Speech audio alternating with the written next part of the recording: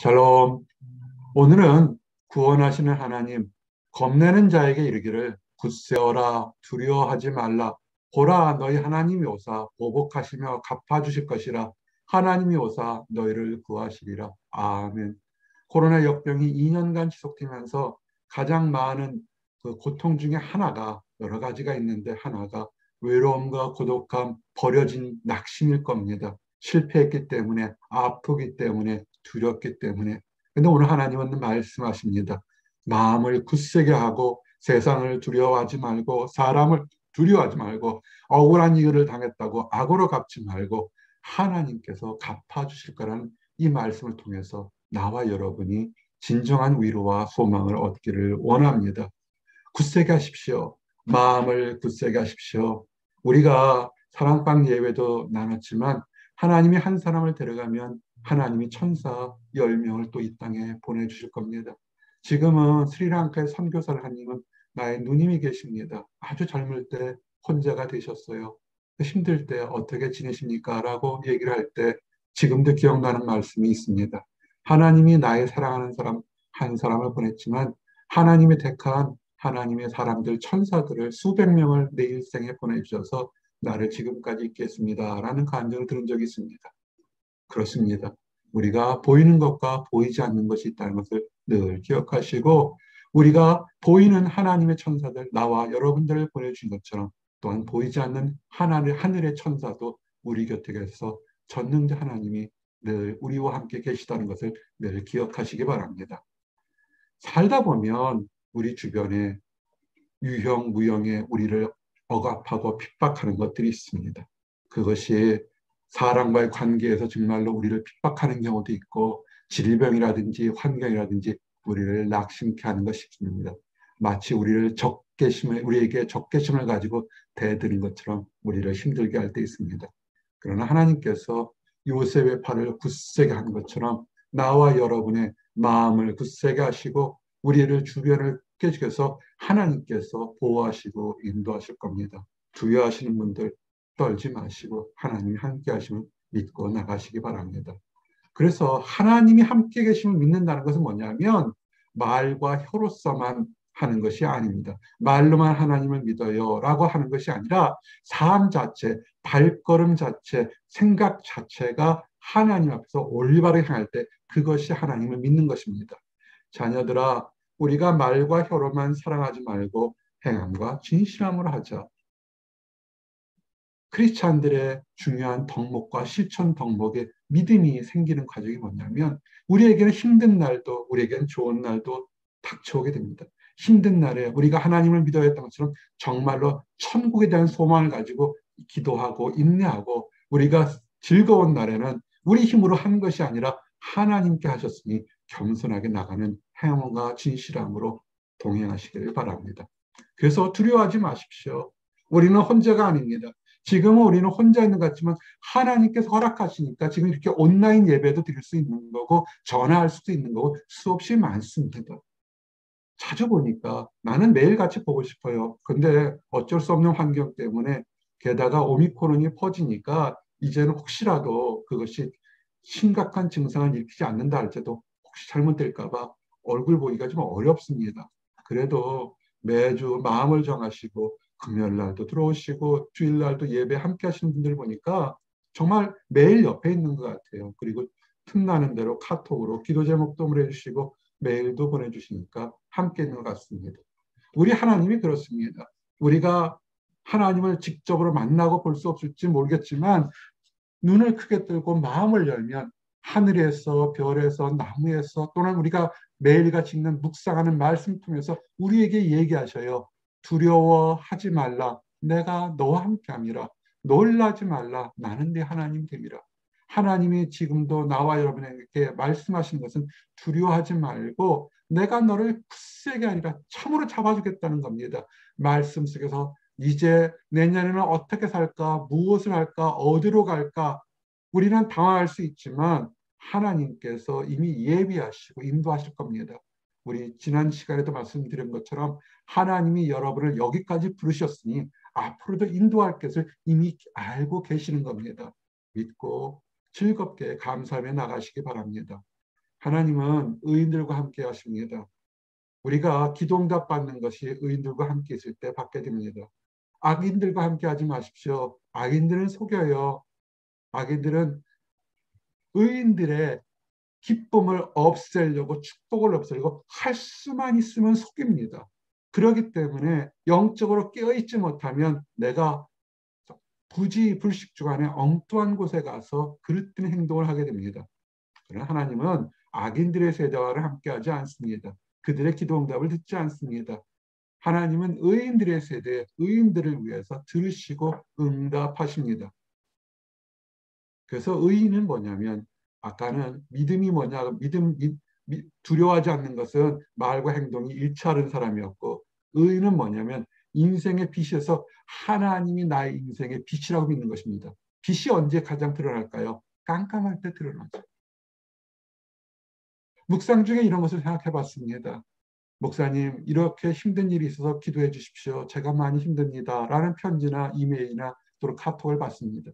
근데 그 중에 상당수는 내가 힘내세요. 또는 하나님이 이렇게 하실 겁니다는 위로의 말씀하기 전에 부끄러울 정도로 그 힘들고 어려운 순간에 간증할 때 이미 그 경지를 뛰어넘어서 하나님이 계셔서 나의 깜깜한 상황에서도 나를 분명히 인도하실 것을 믿습니다는 고백이 오히려 더 커서 어떻게 위로를 할지 사실은 부끄러울 때가 많습니다. 빛은 밝을 때 드러나지 않습니다. 힘들고 어려울 때, 곤란 중에 가까운 중에 하나님의 빛을 더욱더 뚜렷하게 볼 수 있습니다. 여호와는 나의 빛이요 나의 구원이시니 내가 누구를 두려워하리요. 우리는 사람이기 때문에 연약함 때문에 슬퍼할 수 있고 울 수 있고 초조해할 수 있습니다. 정상입니다. 두려워할 수 있습니다. 무엇이 믿는 사람과 믿지 않는 사이의 차이남은 그 두려움 속에서도 하나님의 빛을 바라보느냐 아니냐는 것입니다. 하나님께서 내 인생의 빛이니까 지금은 내가 두렵고 떨릴지어도 나는 하나님을 향해서 한 걸음 한 걸음 나갈 수 있다고 주장하시고 기도하는 사람, 그 사람이 소망 있는 사람입니다. 하나님은 의지할 수 있는 하나님입니다. 세상 의지하지 마십시오. 수천 번 말씀드렸습니다. 세상은 관리할 존재고 사람은 사랑할 존재입니다. 의지하지 마십시오. 의지하게 되면 넘어지고 아프고 범죄하고 타락합니다. 세상은 하나님께서 관리하라고 우리에게 주셨던 거고 사람은 서로 용서하고 사랑하라고 주신 존재입니다. 우리가 의지할 것은 찬양할 것은 하나님 한 분입니다. 찬양할 때 내가 하나님을 의지하였음즉 두려워하지 아니하리니 혈육을 가진 사람이 내게 어찌하리까 하나님을 의지할 때 세상은 두렵지 않습니다. 그리고 우리가 바보인 것처럼 하나님께 시간도 드리고 물질도 드리고 정성을 드립니다. 사람들은 얘기하죠. 그 시간에 네가 하고 싶은 걸 마음껏 하는 게 낫지 않느냐. 맞아요. 그럴지 모르겠습니다. 하나님이 계시지 않으면 악한 것들은 하나님을 알지 못하기 때문에 하나님을 믿는 사람들을 직접적으로 간접적으로 해코지를 합니다. 그러나 하나님은 살아계시기 때문에 때가 되면 하나님의 방법으로 그 모든 인내한 것을 선한 것을 보홍 갚아주십니다.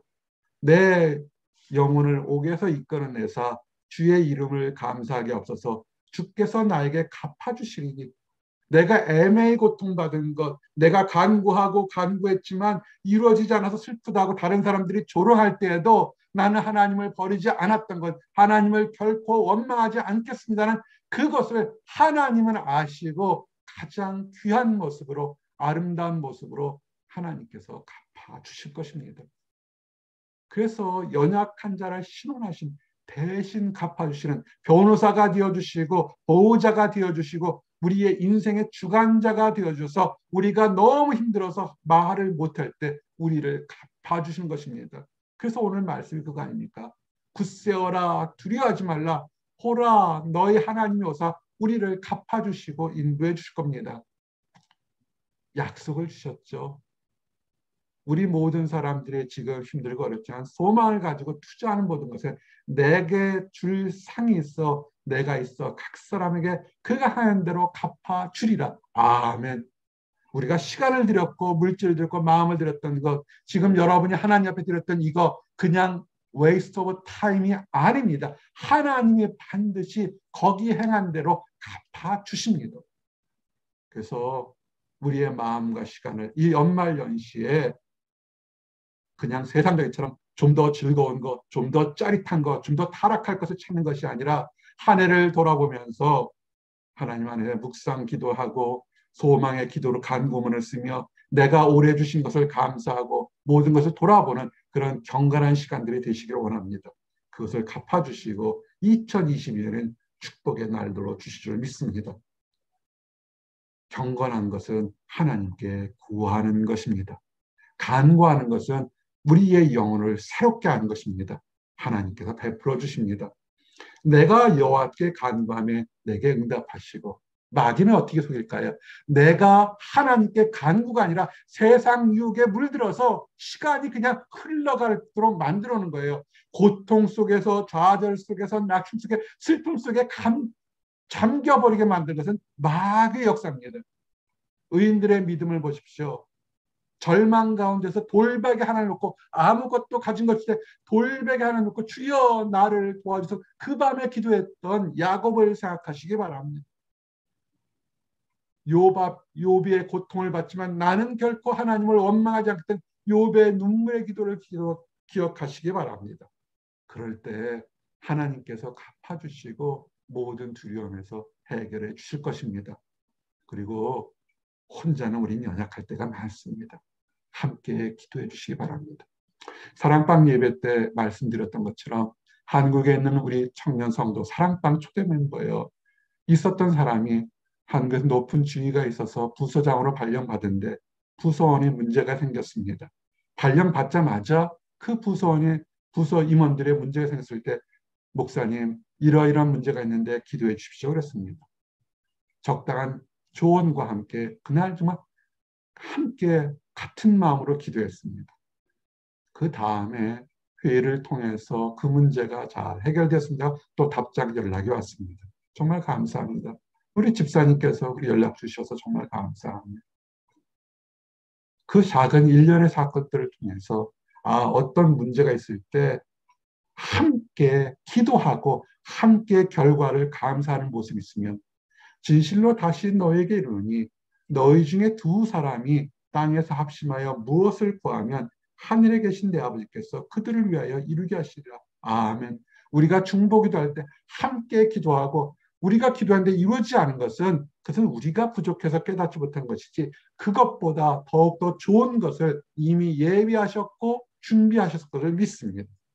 그래서 하나님이 약속이니까 두어 세 사람이 함께 기도할 때 반드시 이루어질 줄 믿습니다. 그리고 이 땅 살아가면서 천국에 가면 모든 눈물과 아픔도 없겠지만 이땅 살아갈 때도 우리의 영혼을 새롭게 하십니다. 하나님께서 구하는 제사는 상심령이라 힘들고 어렵고 답답한 거 그들 앞에 가서 주여 바라보는 그 사람을 하나님이 원하시는 겁니다. 교만한 마음, 거친 마음, 원망하는 마음이 아니라 하나님은 하나님 안에서 새롭게 되기를 원하는 사람을 하나님이 축복하시는 겁니다. 결코 멸시하지 않습니다. 세상은 실패하고 세상은 낙심하고 세상은 고통 사람이 있는 사람이 절규를 부르면 부족한 사람이라고 무시할지 모릅니다. 그렇지 않습니다. 하나님은 그 모든 사람들의 눈물을 닦아주시고 아픈 것을 고쳐주시고 새롭게 하실 것을 믿습니다. 그리고 이 코로나 역병 시간에 우리에게 필요한 것을 아십니다. 먹고 마시고 누워야 될 것을 우리에게 아십니다. 하나님께서 예배하실 거고 그 모든 과정을 이끌 지혜도 주시고 용기도 주시고 동역자도 주시고 환경도 열어주실 겁니다. 그래서 말씀하신 것처럼 우리의 필요보다 더 큰 그의 나라와 그의 의를 구하면서 하나님이 예비한 축복을 다 맛보시길 원합니다. 그리고 하나님은 우리에게 은총, 은혜를 주어서 선을 찾게 만듭니다. 악을 찾는 사람들, 세상의 쾌락을 찾는 사람들은 은총을 받은 사람들이 아닙니다. 힘들고 어렵다 할지라도 하나님의 은혜를 구하는 사람, 그 사람이 하나님의 선물을 받은 사람입니다. 이제 마지막으로 에스크 구하십시오. 구하라 에스크 찾으라 seek 문을 두드려 knock 구하라 그러하면 너에게 주실 것이요 찾으라 그리하면 찾아낼 것이요 문을 두드리라 그러하면 너에게 열릴 것이니 아멘. 연말 연시에 여러분들 노트를 피시거나 아니면 공책을 피시거나 종이를 피셔서 올 한 해 동안 감사했던 것, 올 한 해 동안 기도하는데 이루어지지 않았던 것, 앞으로 2020년 주시면 이룰 것들을 적어서 이렇게 저한테도 보내주실 수 있으면 보내주시고 여러분들이 갈무리하면서 하나님께 구하고 찾고 두드려서 응답받는 그런 시간들이 되시길 원합니다. 말씀을 요약합니다. 우리에겐 수없이 두렵고 초조하고 낙심케 하는 일들이 참 많습니다. 그것을 아시기에 하나님은 우리에게 얘기합니다.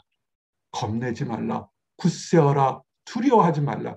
억울한 일은 내가 갚아주실 것이고 내가 너희를 역경 속에서 구하실 거라고 이야기하신 하나님의 말씀을 듣고 천국에 대한 소망과 약속에 대한 확신으로 오늘 하루도 감사하며 사는 나와 여러분들이 되시길 원합니다. 기도하시겠습니다. 하나님 감사합니다.